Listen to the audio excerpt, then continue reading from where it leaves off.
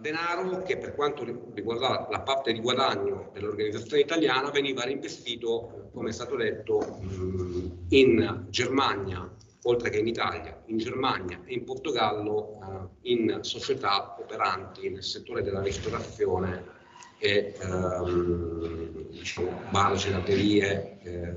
autolavaggio.